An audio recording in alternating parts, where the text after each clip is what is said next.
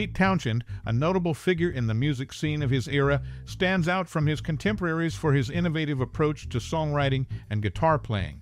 The first time many recognized him was through his influential role as a guitarist and primary songwriter for The Who. What sets him apart is his knack for infusing raw energy and introspective lyrics into his music. Now, we're curious about your most cherished memory or personal experience related to this iconic musician. Share your stories in the comments below as we delve into his journey. Stay tuned for some surprising, amusing, and poignant facts. Keep watching, there's more to discover about Pete Townshend. Born on May 19, 1945, in Chiswick, London, Pete Townshend spent his early years immersed in a musical family. His parents, Cliff and Betty Townshend, supported his artistic inclinations, with Betty being a singer and Cliff a professional saxophonist.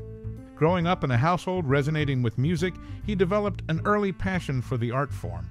Townshend's childhood took a poignant turn when he encountered the teachings of his grandmother, Emma Dennis.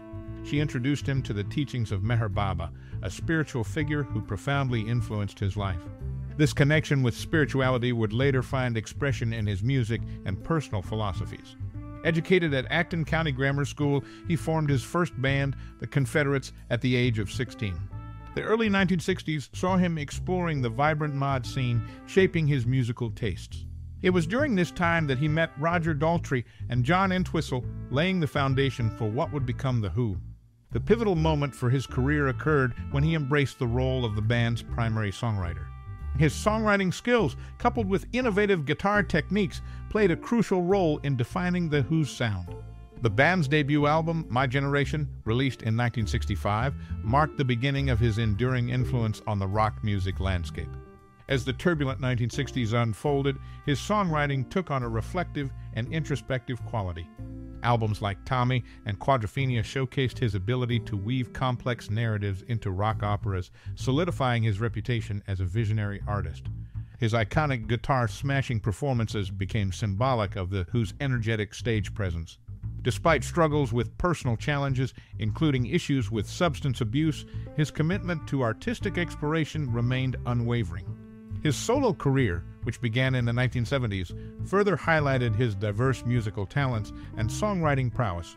Pete Townshend's early life experiences, rooted in a musical household and shaped by spiritual influences, laid the groundwork for a career marked by innovation and introspection. His journey from a mod enthusiast to a legendary figure in rock music showcases the transformative power of passion and creative expression. Betty, the mother of the renowned artist Pete Townshend, was a singer herself. Her son's musical journey reached a pinnacle when, in 1990, he was elected to the Rock and Roll Hall of Fame as a member of The Who. Notably, Townshend's influence extends beyond his rock legacy. The TV series CSI Crime Scene Investigation and its spin offs, CSI Miami and CSI NY, prominently feature songs by Townshend and The Who as their theme tunes.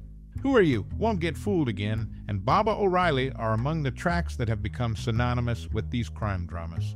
These facts underscore his impact not only in the realm of rock, but also in the wider cultural landscape, where his music has found a place in the iconic soundscape of popular television. Invited by Roger Daltrey and encouraged by old classmate John Entwistle, he joined The Who, marking the beginning of a remarkable musical journey.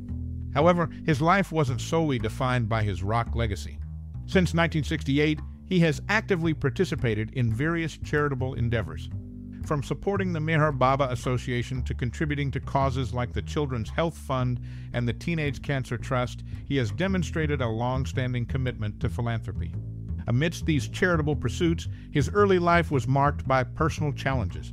His parents' separation left him in the care of his maternal grandmother, who struggled with mental health issues. Despite these hardships, his resilience shaped his path towards becoming a significant figure in the music industry. Best friend of Roger Daltrey and last surviving member of the Who he shares a unique and enduring bond with Roger Daltrey, the only surviving members of the Who, a legendary rock band. Their friendship has withstood the test of time, shaping the narrative of a remarkable musical journey that began decades ago. This camaraderie not only solidified their personal connection, but also played a pivotal role in the continued legacy of The Who. Tony Award winner for The Who's Tommy in 1993, he clinched Broadway's prestigious Tony Award for Best Score, earning recognition for both music and lyrics. This exceptional achievement was tied with John Kander and Fred Ebb for Kiss of the Spider Woman, the musical. Moreover, he secured a nomination for Best Book alongside collaborator Des McAnuff for the same production, showcasing his prowess not only as a musician but also as a versatile talent in the realm of theater. Confrontation at Woodstock during the Who's performance at Woodstock, a historic moment unfolded when he took a decisive stand. Yippie leader Abbie Hoffman interrupted the performance to voice grievances about the festival and make a speech about imprisoned radical John Sinclair. In a bold move, he kicked Hoffman off the stage, asserting control and maintaining the integrity of The Who's performance. This incident became a testament to his unwavering dedication to his craft and his refusal to let external disruptions overshadow the music. In conclusion, from enduring friendships to Broadway acclaim and even facing challenges on stage, he has left an indelible mark on the world of music and beyond. His journey is a testament to resilience, talent, and a commitment to staying true to his craft amidst the ever changing landscapes of the music industry and popular culture. In 1969, The Who's album Tommy secured a notable third position in Classic Rock magazine's list of the 30 greatest concept albums of all time.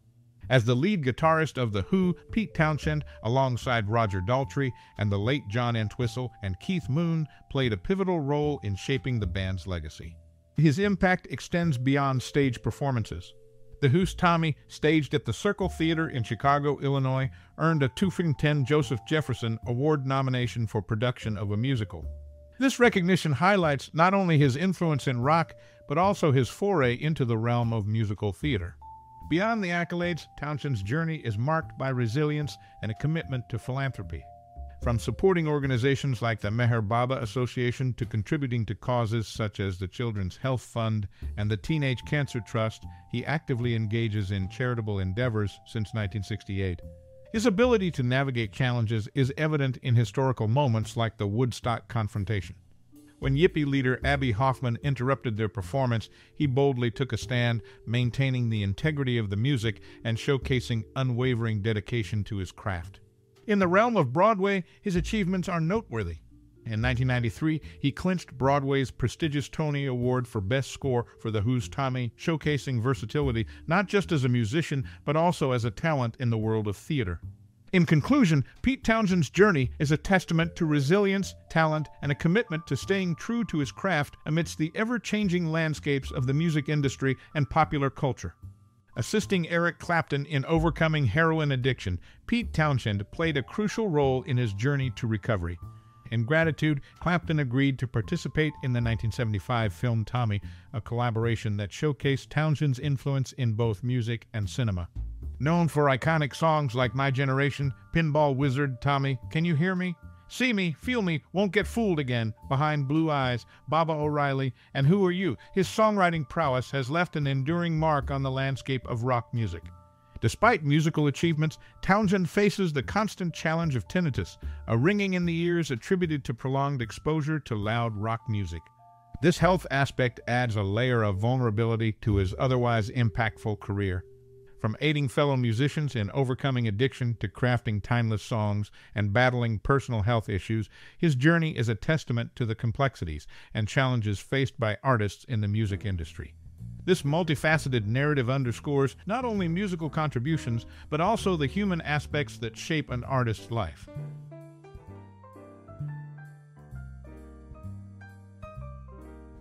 Born on the same day as ZZ Top bassist Dusty Hill, ACDC drummer Phil Rudd, and Ramones vocalist Joey Ramone, Pete Townshend shares his birthday with notable figures in the music industry.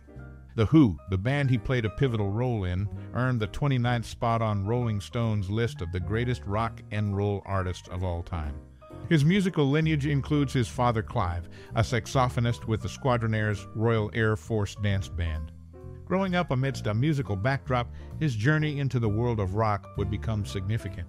His contributions, especially with The Who, extend beyond personal achievements.